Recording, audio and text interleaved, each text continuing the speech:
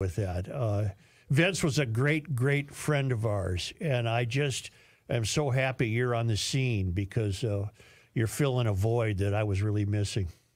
Oh, thank you. I mean, he was such a huge inspiration. I got to meet him once at uh, Shot Show, which is an industry show in Vegas for all the latest weapons and gear and, and, that sort of thing that I always made a point to go to if I wasn't deployed, just to see what the private sector was doing, anything that we could possibly get that would give us a little bit of an advantage downrange in Iraq and Afghanistan.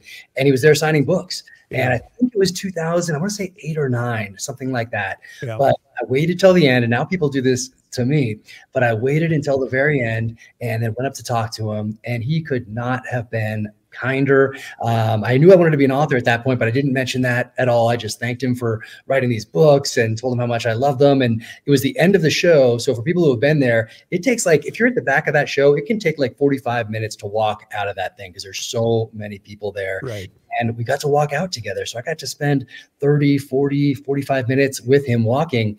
And I remember the one question I asked him, I said, uh, I asked him a lot, but uh, the one that stands out is I asked him, Do you ever wake up in the morning and think that you're going to open the paper and see that the events that you wrote about in term limits have come true? That essentially that someone used term limits as a blueprint.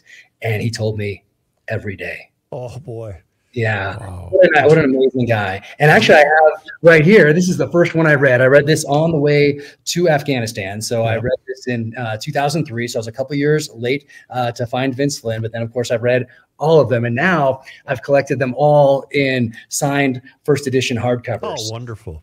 Uh, this is the one that he did before getting to Simon and Schuster. Yep. This is yep. the one that early one right here with with uh, someone named Jason Lewis from AM 1500. yeah. yeah, we, we don't know. Ouch. We have no so, idea who that is. First a political thriller.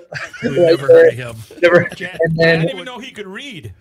yeah. And then this is the one after he gets to Simon and yeah. Schuster. Yeah. This is the next one right here. So, um, yeah, what an amazing guy. And uh, I can tell you this on, the, on those 10 minutes that you walked out with him, it was all sincere. That's he, not. Yeah, he wasn't. He full, wasn't full Jack, what you have to learn to do now is to drop names because no one could drop yeah. a name better than Vince, even if it was the the king of Jordan. He'd say, "Yeah, we had a little wine and a cigar," and and it didn't sound bad. It came off all right. Jack, when you wake up in the morning, are you fearing what you write is coming true? Well.